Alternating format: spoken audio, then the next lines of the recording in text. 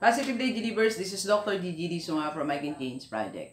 Magandang umaga sa lahat ng mga delivers natin. And sa first time po tayo mapanood sa aking YouTube channel, thank you very much. Please subscribe, click mo na po yan, Doc GG Sunga. Okay, so announcement pa rin natin, seminar natin sa Hong Kong, November 18 sa Kennedy, ah, no, may pangalan, ano, ano natin yan, Bayanihan uh, Kennedy Town Center, yan. So, that's on November 18, Sunday, 2 to 5 p.m., 3 hours po yan. Ang registration fee po ay 290 Hong Kong dollars. Alright, so message niyo po ako uh, para ma-send ko sa inyo ang details kung paano po ay magpapadala. Okay? And second announcement natin, ah... Uh, meron po tayong, um, yan, uh, binalik natin ang ating book, How to Embrace Transformation, uh, for sale. Plus may kasama po siyang t-shirt na I Can Change, uh, yung mga suot ko sa iba kong vlog. Uh, 550 plus 200 na shipping fee. Ayan, so message nyo lang po ako. If solo naman na t-shirt na uh, gusto nyo pong bilhin, that's 250 po. Okay? Uh, yan. Okay, so bago tayo pumasok, Friday ngayon, uh, medyo malamig pa din eh. Tsaka, hindi pa tayo ayos pag, ayoko lang pakita, baka ma-disappoint kayo sa pinanggalingan ng baha. Pero, we're doing fine. Uh, pinapayos na natin bahay natin, nabaha tayo, mga gamit natin, magpapalit tayo ng iba. Uh, ganun talaga ang buhay. May mga, sa kuna may mga, uh, mga unexpected things na mangyayari na hindi ko akalain na uh, masisira yung mga iba naming gamit. Okay, buti na lang, save ko yung cellphone ko, camera ko, and laptop para tuloy-tuloy ating pagbablog. Okay, so, paano ba hindi tumandang mahirap at malungkot? Or, sa ating lahat, kasama po ako, OFW, nagtatrabaho dito sa Pilipinas, sana hindi ka tumandang malungkot at mahirap. Um, hindi ko kasi may imagine na sarili natin at the age of uh, 60, 65, 70, 75, 80 kung abutin tayo nun, na matanda tayong mahirap at malungkot. Matanda, mahirap, malungkot. Para namang, uh, uh, parang medyo nakakaano yun, di ba? Mamumuhay ka sa uh, last part ng buhay mo na miserable. Di ba? Miserable siya kasi, uh, ano na, malungkot ka. Pangalawa, uh, di ka makapagpagamot, uh, meron kang gustong kainin, di mo makain, meron kang gustong ipa-check up, di mo ma-check up, meron kang gustong pasyalan, di mo pasyalan, meron kang gustong gawing mission sa buhay, uh, di mo magawa. Kasi yan yung, most of the people, yan ang gustong, pag matanda ka na, uh, retired ka na, yun ang ginagawa mo, may mga mission kang gustong gawin sa buhay, tumutulong sa mahirap, nagba-Bible study, nagmi-mission sa iba't ibang lugar, so, uh, kailangan mo na expenses dyan at nakakalungkot na hindi natin magawa yung pangarap nating dapat ginagawa natin. Okay? So, sana hindi tayo tumandang uh, mahirap at malungkot. Pinagsama ko na. Okay, pinagsama ko na po. So, paano nga ba? Nag-lista uh, po ako dito ng anim. Anim na paraan para hindi tayo tumandang malungkot at mahirap. Okay, so, kung ikaw ay nakaupo ngayon, uh, ano doon TV, nasa sasakyan, saan ka man, uh, sa bahay, nasa room mo, if possible, get your notebook, uh, sulat natin to para maiwasan natin. Unang-una, uh, para hindi ka tumandang mahirap at malungkot, uh, tanawin mo na ang gusto mong maging buhay pagtanda mo. Uh, sabi nga ni Stephen Covey, sa The Seven Habits of Highly Effective People, begin with the end in mind. So, tanawin mo na yung dulo. Ano ba yung dulo ng buhay natin? 65 years old ka na, uh, saan mo gustong tumira. Okay? Sa um, sino mga gusto mong kasama, 'di ba? Ano yung ginagawa mo? Imagine mo na 'yung sarili mo. Uh, lalo doon sa mga single kagaya ko, 'di ba? Uh, saan ba tayo titira? uh, ako sabi I don't want to live alone eh. Kaya sabi ko sa mga kapatid ko, pipili ako ng mga ko. Pipili ako sa kanila ng uh, to be with. So, kung ikaw naman ay married or ano, wala tayong problema. So, isipin mo na lang ngayon, uh, saan mo gusto bang tumira? Sa isang subdivision ba? Sa pamayanan? Pamayanan kasi that, nung panahon natin, parang community, baryo-baryo, di ba? Sa city pa rin ba? Sa ibang bansa ba? O kaya sa probinsya? So, uh, tanawin mo na. Um, tanawin mo na siya at isipin mo na rin, ano yung mga posibleng gagastusin mo. Uh, kasi ngayon pa lang, di ba, misa na-test na natin. Ano ba yung magiging ah, sakit natin, di ba? Alam na natin eh, like ako, natanggal na po kasi yung aking ano eh, ah, abdo. Okay, so, unti-unti ata matatanggal ang tayo bahagi ng katawan. Ah, ang ibig sabihin po, ah, na-anticipate na natin kung diabetic ka ba, ah, high blood ka. So, na-imagine mo na, di ba, na meron kang mga regular check-up and everything. So, bakit mahalaga, Doc pati yung ah, mga gamot, pagpapacheck up, ah, gastusin, tinitina mo na. Kasi kasama sa paghahandaan mo. Di ba yung dulo, pinaghahandaan mo siya, di ba? So, ito na yung dulo ng, ito na yung retirement mo, ito na yung retirement stage, okay? Ah, pinaghahandaan natin. At higit sa lahat, tanawin mo na din, ano yung ginagawa mo na magiging masaya ka? Di ba sabi nga natin, huwag tayong tumandang ma- malungkot. May mga malulungkot kasi matanda, eh, di ba? Pagka, minsan nakikita natin. Pero may mga matanda naman na masaya. Like nanay ko masaya siya kasi marami siya apo, di ba? Ah, so, ano yung ah, ano yung klase ng ano yung mga pagkaagasusan mo at ano yung makapagpasaya hindi lang pagkaagasusan ano yung makapagpasaya sa iyo alamin mo na din siya di ba Ah, for example makapagpasaya ba sa iyo nasa bukid ka so ah, nasa mga gulayan ka kalagitnaan ng ah, bukid di ba so kung makapagpasaya sa iyo yan ah, kasama sa pagandaan mo na meron kang bukid di ba kung makapagpasaya sa iyo na nasa probinsya ka, nabubuhay ka ngayon sa sa city, kasama dapat sa pagandahan mo, magkaroon ka ng bahay sa probinsya.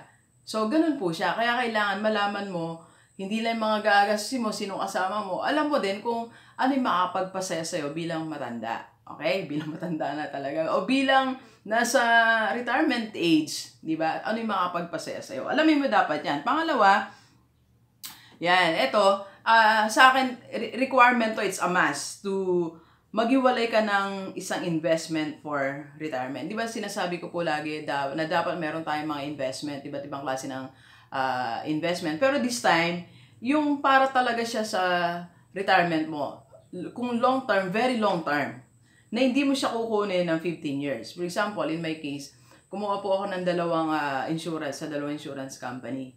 Ah, payable lang siya ng 5 years. Tig po 5 years po sila dalawa.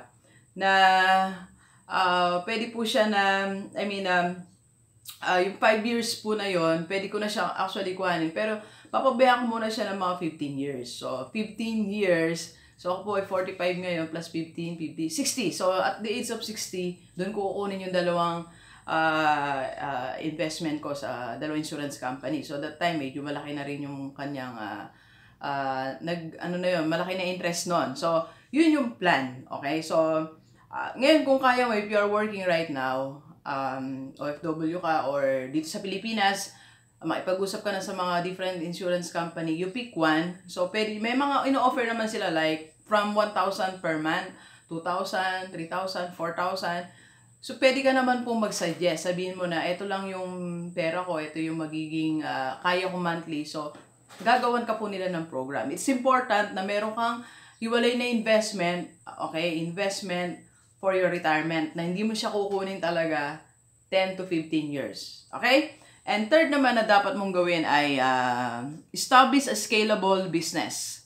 Okay? Ano ba yung scalable business? There are two types of business po kasi. One, yung sabi ng mga expert na narinig natin, non-scalable and scalable business. Yung non-scalable business, ito yung business na ah kailangan nandun ka talaga nakatutok ka. Na hindi ka kikita kung naka-close siya. For example, meron kang ah, coffee shop. So, yung coffee shop mo na yon ah, kailangan nandun ka para araw-araw, di ba? Pa- ah, nandun ka para magkaroon ng income. Pag ah, hindi mo siya binukas, so wala ka pong income. So, yung sinasuggest natin, establish a scalable business. So, ano ba yung may scalable business? Like, for example, online, na once you start na nandun na yung ah, product mo, pwedeng e-product yan or physical product uh, or yung mga ta- tangible product. So, ah pwede mo i-upload yan. So, kahit natutulog ka na, kahit medyo may edad ka na, basta nandun yan, nakabukas ang online, kikita ka. That's scalable. And for example, uh, uh, if you are interested, you can start your YouTube channel. Uh, it's a scalable business. For example, may YouTube. Uh, ito, tinitingnan ko siya. Pagtanda ko, this will be my one of my main source of income. Aking YouTube channel. Kaya, ako ni pinagpapasalamat ko sa sa Panginoon na binigyan niya sa akin ng uh, YouTube not only that I can help other people uh, every day more than 20,000 people are being inspired 25,000 people are watching my uh, videos every day po yan every day so uh, bukod po doon it will give me an income kahit matanda na ako as long as may YouTube Okay? So, yun po yung mga scalable business. So, try to start your scalable scalable business. Kung marunong kang magsulat, uh, pwede kang mag-start ng ebook mo, then upload mo lang sa mga website or your own website or kaya naman sa ibang uh, mga platform, di ba? Or if you have an idea, uh, pwedeng for future franchising ang yung business, di ba? Kung meron kang naka meron kang isang product or ano, uh, business like uh, food cart, something like that, pharmacy. Sabi ko nga, senior ko sa inyo, yung office mate ko, na plana nila ngayon, ipa-franchise yung kanilang uh, pharmacy. So, something like that. Uh, so, sinasabi natin ngayon, kung ikaw nasa 30, 40, uh, mag-start ka ng mag uh, sumubok. Huwag ka matao sumubok na ma-discover mo yung scalable business mo. Okay? Uh, like, in my case, bago po ako nagtagumpay dito sa aking uh, YouTube channel, I've been through a lot of uh, experiments also. So, nag-start ako, uh, would you believe, nag-junk shop po ako. Uh, nagkaroon din ako ng ibang uh, online na uh, business na uh, may mga tinry tayo na hindi tayo nagtagumpay, di ba? Pero I did not stop. Hindi ako nag-stop. So, hanggang sa natagpuan ko si YouTube, uh, hanggang sa, ito na, nakita ko na yung audience ko, natagpuan ko na, and uh, I think it's a scalable business, di ba? Uh, like ko po sinasabi, my YouTube channel is a business. I regard it as a business. It's a serious thing for me. So imagine nyo, pagdating ko mga 7 p.m. hanggang 12, past 12 minsan, kagabi, past 12 na ako natapos everything, answering questions, uploading, vlog and everything. Ipag-meeting pa tayo sa mga field researcher natin na kailangan ko ng magkaroon. Mamaya may meeting ulit ako. So ngayon, bago ako pumasok, I'm working on my YouTube channel. So, it's a serious thing, okay? So, just try to find your find your uh, scalable business. Huwag kang tumigil hanggang di mo nakikita yan. Sabi ano kapatid ko, uh, na may sari-sari store ngayon, nagdi-distribute ng saging. So, hindi siya titigil hanggang di niya nakikita yung mina. so, nag-start sa sari-sari store. Uh, may simpleng bigasan, may mga load and everything. So, she, she's trying everything hanggang sa matagpuan niya yung kanyang, yung tinatawag niyang mina o yung money machine. Alright? And next is um, number four. Okay.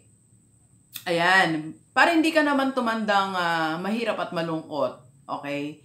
Uh, five years bago ka mag-retire, you buy your own car. Yan. So, dapat meron tayong tinatawag na retirement car. Para hindi naman yung may edad na tayo, eh, pag magpapacheck up tayo, isinasakay tayo sa tricycle, no? Sa jeep na nagmamadali mga jeep, sa bus na hindi ka pa nakaupo, under na, di ba? May mga ganun eh. So, para hindi naman tayo mukhang nakakaawa na old people, retired, uh, dapat may kotse tayo, okay? Uh, hindi naman siya luho. That, it's, I think it's a must, it's a necessity kasi may rap na tayo sa biyahe, di ba? Uh, tapos, lagi tayo sa CR, di ba? Something like that. And your own comfort also uh, if you can't drive, so pwede kang mag-hire ng driver mo. So, kasama yun sa pinaghahanda natin. Kaya ngayon, number one ko, uh, sabi ko sa inyo, uh, try to identify ano ba yung uh, type of life na gusto mo. Okay? At then number five naman, para hindi ka tumandang malungkot, uh, start doing your, establishing your passion now. Ngayon mo na, gawin mo na ngayon, mag-start ka na ngayon na ginagawa mo yung passion mo, interest mo, para uh, pag the time na nag-retire ka, uh, ano na yan, uh, maayos na siya, tinutuloy-tuloy mo na lang, di ba? Kung gusto mo magkaroon ng ah, passion mo talaga, uh, nasa office ka pero talagang gusto-gusto mo magkaroon ng mga batang tinuturuan, you can start your tutorial center, di ba? O kaya, no, sa iba kasi trabaho yan, sa iba naman passion yung pagtuturo, di ba? Or kung gusto mong uh, dancing-dancing, you create your own studio sa bahay mo, pwede ka nag-tutor-tutor, o kaya naman eh, uh, pagdating ng araw, dahil matanda ka na, di ka na makapag-tutor-tutor, eh, you know, pwede kang mag, uh, meron kang mga recorded something ganun, or meron ka na lang one-on-one tutorial. So, I don't know how, kung ano yung passion mo. Kung passion mo naman na tumutulong sa mga mahihirap, di ba? So, magkaroon ka ng uh, foundation, o kaya naman nag uh, nagba-Bible study or mission in life, passion and mission, pagsamahin mo na yan.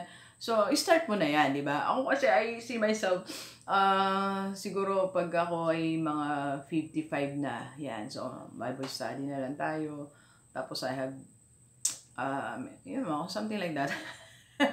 Pero mga Bible study tayo mga ginagawa. Yan mga gusto natin gawin. Okay? Uh, alright, so dito po sa akin listahan ay Number 6 na tayo dapat pero uh, gusto ko pang mag-isa. Isa pa. Uh, if possible, you establish your own uh, passive income. Di ba? Yung mga lagi natin sinasabi na passive income. Uh, pwede kang makipag uh, partner. Like now, may ka-partner ako sa business. Uh, kausap ko lang siya kagabi. Or meron ka mga um, different types of investment then sumali ka sa co-op, sa iba't ibang uh, investment na pwede mo salihan.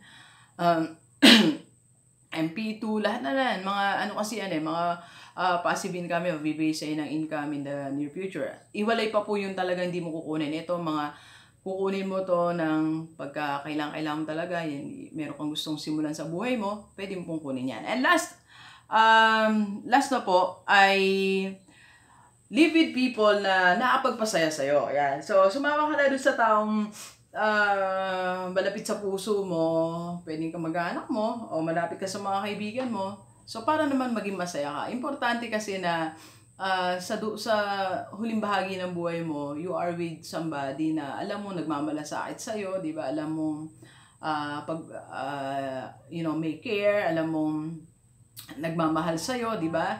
So, ikaw rin naman, gusto mo silang kasama, enjoy the company, uh, nagiging masaya ka, may fellowship ka. So, uh, para hindi tayo tumandang malungkot, di ba? Uh, tandaan natin ang sabi nga ni Mark Cuban, eh, ang pera nabibili lahat, pero kailangan may mahal ka rin, di ba? May mahal ka. Not necessarily yung partner mo talaga sa buhay, kundi friends, relatives na nandyan sa paligid mo. Okay? So, yan ang ating um, napakalagang lesson ngayon. Sana huwag kang tumandang mahirap at malungkot. Okay? Tumanda sana tayo mayaman at masaya. Alright, so please share this video sa iba nating mga kaibigan. Uh, pwedeng OFW, pwede na dito sa Pilipinas para sama-sama po tayo ma-inspire. Okay, at mabago ang buhay. Alright, so thank you very much, Delivers. Enjoy the rest of the day and let's go, let's go!